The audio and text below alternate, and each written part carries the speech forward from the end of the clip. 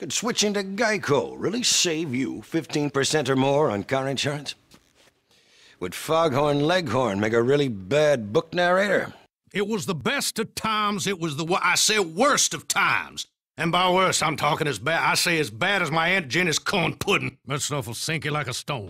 Okay, that was You a little... getting all this in there, son? I just added that last part. It's called ad libbing. anyway, it was, I say it was Geico. 15 minutes could save you 15% or more on car insurance.